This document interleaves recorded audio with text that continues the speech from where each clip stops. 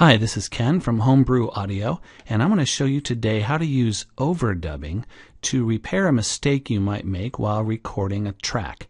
So in this example, I'm going to record a guitar track, make a mistake, and then instead of having to start the whole thing all over, I'll just start a new track and pick up just before I made the mistake and continue on, and that way we can more quickly create a perfect track without having to start over and over again every time we make a mistake. So you can see here I have a track, I've labeled it guitar, and I am going to record a little bit and then make a mistake and we'll see what to do from there. Here we go.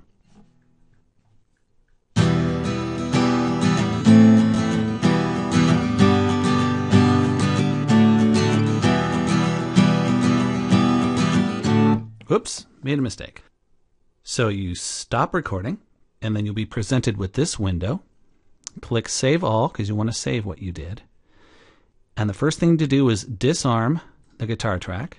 Double click in the space to create a new track. Arm that one. This will be where we record our repair audio. Then come over to where you made your mistake and go to the end of that first track. This is where, that's usually where I swear. But in, you don't want to hear that or the mistake when you're recording the repair audio. It'll throw you off. So I'm just going to peel this back a little bit. Record over the mistake and the extra talking. And then come back. I'm going to come back to here and start recording on this repair track. Here we go.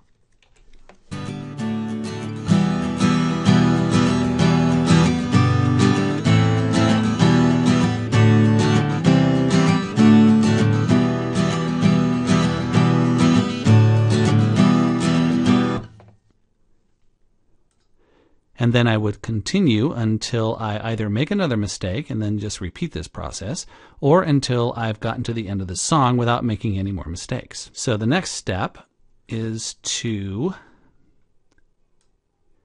trim the edge of the repair audio until it is just overlapping by a few milliseconds your original audio.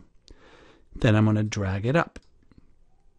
And I wanted that little overlap so that I can get this crossfade right here.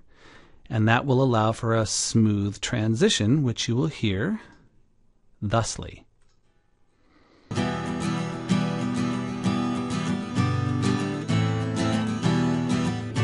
Nice and smooth and seamless. And that's how you do it.